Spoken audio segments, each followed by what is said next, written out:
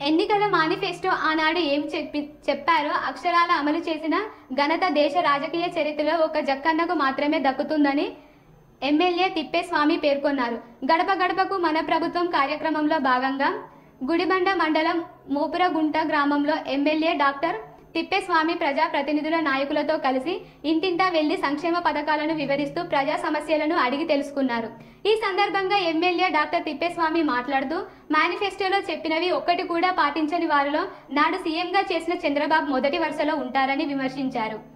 అంతేకాదు మేనిఫెస్టోని ఎవరు చూడకుండా ప్రశ్నించకుండా ఎక్కడా కనిపించకుండా చేసిన ఘనత చంద్రబాబుకే దక్కుతుంది అన్నారు.